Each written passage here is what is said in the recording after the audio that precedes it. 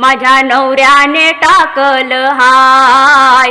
माझ्या बाळाला खायाला नाय बाला भी मी जड झाल या आता जाऊ कुठाय? मी जाऊ कुठाय? ठाव नाय मी जगू कशाय?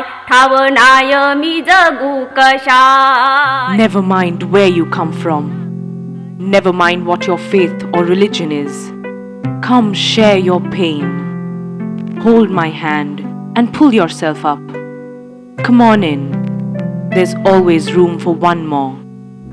It was in the year 1991 when Sister Lucy was working at Hope that a woman seven months pregnant approached her for help. Afraid that her husband was going to kill her so that he could bring in another woman into the house. Unable to do anything that evening, Sister Lucy asked her to come the next day. The day never dawned for the woman. Her husband killed her that night, along with the fetus. After this incident, I was very sad and upset. I wanted to run away from this cruel world. It was at that time I met Father Francis D'Sa and he suggested to me instead of running away, stay and do something for this type of women who are suffering. We needed urgently to create a home for abused and traumatized women who could find a place where they felt secure, cared for, and wanted, irrespective of religion, caste, or social status. This was the need of the hour. Out of this need, Maher was born in 1997.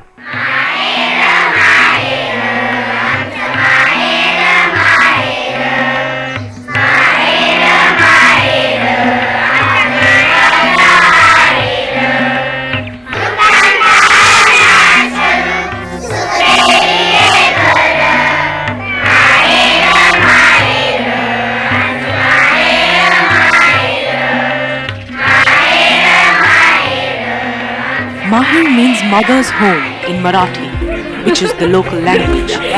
It represents the warmth, love, and care of a real mother's home. The first house was built in Vadhu Budruk, a village on the outskirts of Pune, to serve as a refuge for women in distress. Women who are ill treated and thrown out of the house by their spouses and in laws, widows shunned by both parents and in laws, and mothers with infants and young children with nowhere to go. Maher is a home where, through sheer love, understanding, and caring, distressed women from rural India are given hope and the right to a better life. A life of dignity, respect, and love. Maher's objective is not merely to shelter these women, but more importantly, to rehabilitate them, either by reconciling them with their families or training them in various vocations so that they can stand on their own feet and not have to be dependent on anyone.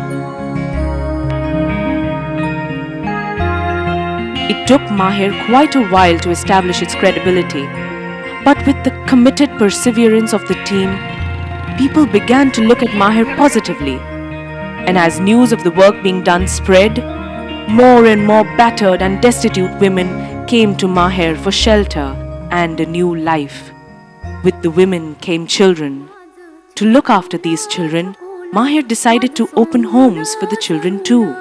However, not all the children at Maher came along with their mothers. Some are orphans, while others come from families too poor to bring them up. No efforts are spared in creating a secure and happy environment for the children. Every child is a child of Maher and gets the love and warmth not from just one set of parents, but from all the adults at Maher. The children are sent to government run schools or national open school for a formal education.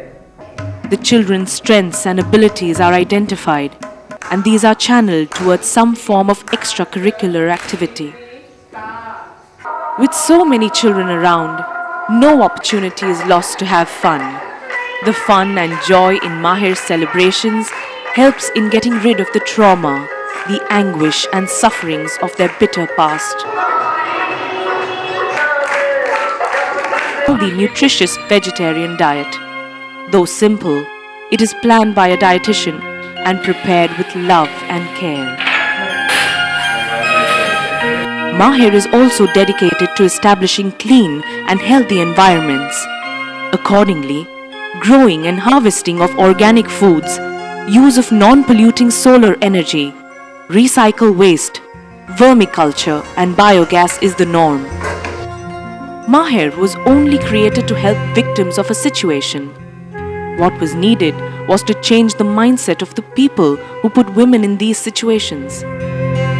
This was done through various awareness programs that help villagers understand their rights, duties, responsibilities, and place in society, and to unite and stand up to unscrupulous landlords and moneylenders. सगळ्या महिला अं, महिला आमच्या ज्या अडाणी होत्या ज्यांना काही म्हणजे कल्पनाच नव्हती त्या आता हळूहळू हुशार झाल्यात ते आपल्या मुलांना पण शिकवू लागल्यात By July 2007, over 1200 women and 940 children have been through the Maher experience and have come out brimming with self confidence and happiness.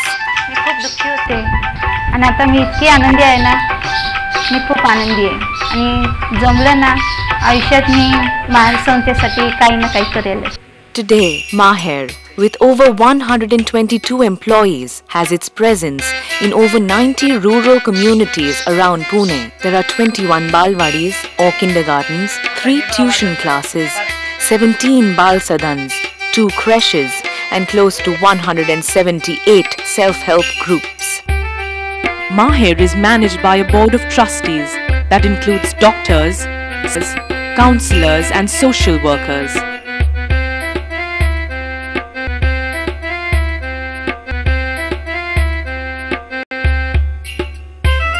All that Maher has achieved would not have been possible without the constant help of friends of Maher. Their generosity comes in the form of money, goods, services, or just the time spent for Maher. Our heartfelt thanks to each one of them. Maher has indeed come a long way since its humble beginnings in 1997. The immediate plans of Maher would require a sum of approximately 13 million rupees or roughly $290,000. More importantly, there's a huge task awaiting us. The task of changing the attitude of society, especially of men, towards women. This is a gigantic task. Maher is therefore not just a project, it is a vision. Vision of a new society where men, women, and children have opportunities for growth, education, and happiness. Maher